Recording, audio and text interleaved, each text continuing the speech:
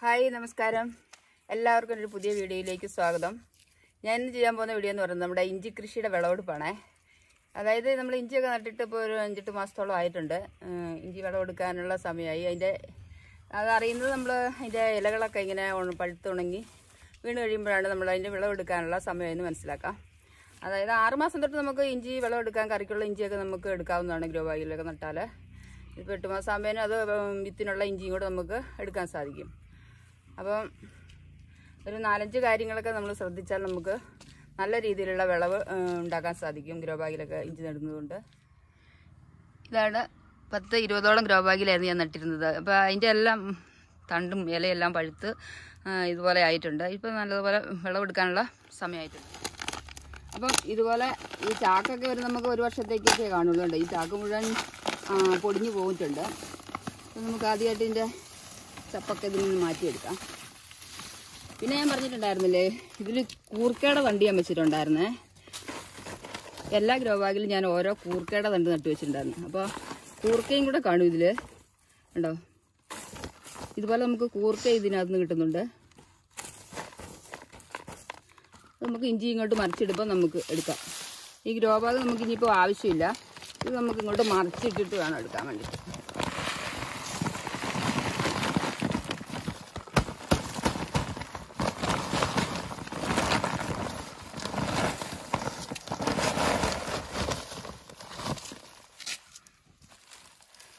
കരിയിലയൊക്കെ നിറച്ചിട്ടായിരുന്നു ഞാനിത്.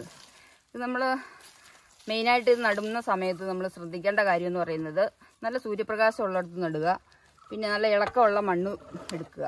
പോട്ടി മിക്സ് ആണെങ്കിലും നല്ല ഇളക്കമുള്ള മണ്ണിൽ വേണം നമ്മൾ ഇഞ്ചി നടാൻ വേണ്ടിയിട്ട്. ഞാൻ നല്ലോണം കരികിലയൊക്കെ ചാക്കിൽ നിറച്ചിട്ടാണ് പൊട്ടി മിക്സ് നിറച്ച് നട്ടു കൊടുത്തിട്ടുണ്ട്. ഇത് നമ്മുടെ ഒരു ഗ്രോ ബാഗിൽ നിന്ന് എടുത്ത ഇഞ്ചിയാണ് ഇത്. ഞാൻ ഒരു രണ്ട് ചെറിയ കഷ്ണം ഇഞ്ചിയായിരുന്നു ഇതിൽ നട്ടു കൊടുത്തിരുന്നത്. അതിൽ നിന്നാണ് നമുക്ക് ഇത്രയും ഇഞ്ചി കിട്ടിയിരിക്കുന്നത്. കണ്ടോ അപ്പോൾ ഇതുണ്ടോ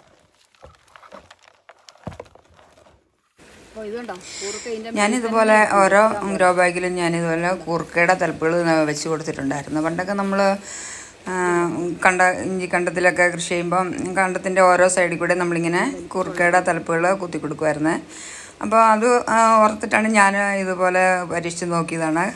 അപ്പോൾ നല്ല വിളവാണ് കിട്ടുന്നത് കേട്ടോ. നല്ല വലിപ്പമുള്ള കൂർക്കക്കിഴങ്ങളാണ് നമുക്ക് ഇതിൽ നിന്ന് കിട്ടുന്നത്. അതായത് ഇഞ്ചിക്ക് വളം കൊടുക്കുന്ന സമയത്ത് അതിനുള്ള അതിനും കൂടി നമ്മൾ വളം കൊടുക്കുമല്ലോ അപ്പോൾ അത് വലിച്ചെടുക്കുന്നുണ്ടാവുമല്ലോ. അപ്പോൾ അത് നല്ല വളർച്ചയാണ് ഉണ്ടാകുന്നത് സാധാരണ നമ്മൾ കൂർക്ക നടുന്നതിനെ കഴിഞ്ഞും വളർച്ചയാണ് ഇഞ്ചി കണ്ടത്തിലും ഇഞ്ചി ഗ്രോ ബാഗിലും ഒക്കെ നടുന്ന കൂർക്കയ്ക്ക് നമുക്ക് കിട്ടുന്നത്. ഇങ്ങനെ നമ്മൾ ഗ്രോ ബാഗിലൊക്കെ കൃഷി ചെയ്യുന്ന സമയത്ത് നമ്മൾ ഇതുപോലെ കരികില നിറച്ച് കൊടുത്ത് വെച്ച് ഗ്രോ പൊട്ടി മിക്സ് നിറച്ച് കൊടുക്കുകയാണെങ്കിൽ മണ്ണിന് നല്ല ഇളക്കം ഉണ്ടാവും നല്ലതുപോലെ വേരോട്ടം ഉണ്ടാവും നല്ലോണം ഇഞ്ചി പിടിക്കുന്നതായിരിക്കും. ഉണ്ടോ ഇതേപോലെ ഇഞ്ചി നല്ലോണം പിടിക്കണമെങ്കിൽ ഇതുപോലെ ഇളക്കമുള്ള മണ്ണിൽ വേണം നമ്മൾ നട്ടു കൊടുക്കാൻ വേണ്ടിയിട്ട്. പിന്നെ നമ്മൾ മാസത്തിൽ ഒരു പ്രാവശ്യം മണ്ണ് കൂട്ടി കൊടുക്കേണ്ടതാണ്. പിന്നെ എല്ലാ ആഴ്ചയിലും നമ്മൾ എന്തെങ്കിലുമൊക്കെ ജൈവവളം ചെയ്തു കൊടുക്കണം. അപ്പം നമുക്ക് ഇഞ്ചി ഇതുപോലെ ഓരോ ഗ്രോ ബാഗിൽ നമുക്ക് എടുത്തു നോക്കാവേ. അപ്പം നമ്മളിന്ന് ഇപ്പം ഇഞ്ചി മാത്രമല്ല അതിന്റെ കൂടെ തന്നെ നമ്മൾ കൂർക്കയും കൂടിയാണ് വിളവെടുക്കുന്നത്.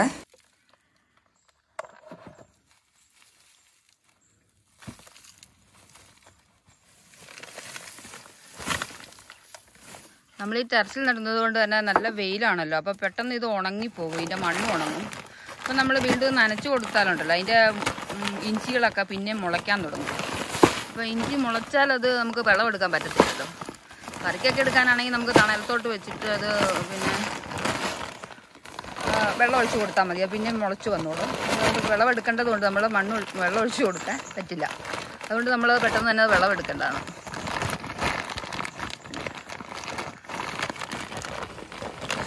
ഇതുണ്ട്? ഒരു ഗ്രോ ബാഗിൽ ഇഞ്ചി ഉണ്ട് നിറച്ച് ഇഞ്ചി ഉണ്ട് കേട്ടോ.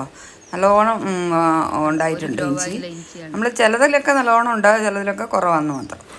ഇതുണ്ടോ? നമ്മുടെ ചാക്ക് മുഴുവനും അട്ട് പോയിട്ടുണ്ട്. ഇനിയിപ്പോൾ കൊള്ളത്തില്ല.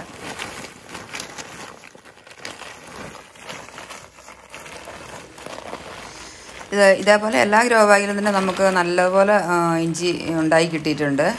ചിലതിലൊക്കെ കുറച്ച് കുറവ് വന്നിട്ടുള്ളൂ. എന്നാലും വലിയ മോശമല്ലെന്നാണ് തോന്നുന്നത് കേട്ടോ. അതുപോലെ തന്നെ കുറുക്കെ നമുക്ക് കിട്ടിയിട്ടുണ്ട്. ഇതുണ്ടോ? ഇത് നമുക്ക് ഒരു ഗ്രോ ബാഗിൽ നിന്ന് കിട്ടിയ ഇഞ്ചി വിത്താണ് കണ്ടോ? എന്തുമാത്രം ഉണ്ടോ നോക്കിക്കേ. ഇതൊരു ചെറിയ രണ്ട് കഷ്ണം ഇഞ്ചി വെച്ചിട്ടാണ് ഇത്രയും നമുക്ക് വിളവ് കിട്ടിയത്. അപ്പം നല്ല മോശമില്ലാത്ത വിളവല്ലേ നമുക്ക് കിട്ടിയിരിക്കുന്നത്. ഇതുപോലെ ഗ്രോ ബാഗിൽ നമ്മൾ കൃഷി ചെയ്യുവാണെങ്കിൽ ഇതേപോലെ ഇഞ്ചി വിളവെടുക്കാൻ നമുക്ക് സാധിക്കും. താഴെ നമ്മുടെ ഇഞ്ചി കൃഷി വിളവെടുപ്പ് പുരോഗമിച്ചുകൊണ്ടിരിക്കുകയാണ്. ഒരു സൈഡിലെ കൂർക്ക വിളവുണ്ട്. ഇതുണ്ടോ? ഒരു വശത്ത് ഇഞ്ചിയുണ്ട്. ഇതിലും ഉണ്ട്. ഇഞ്ചി കൂർക്ക ഉണ്ടാവും അതിന്റെ സൈഡിൽ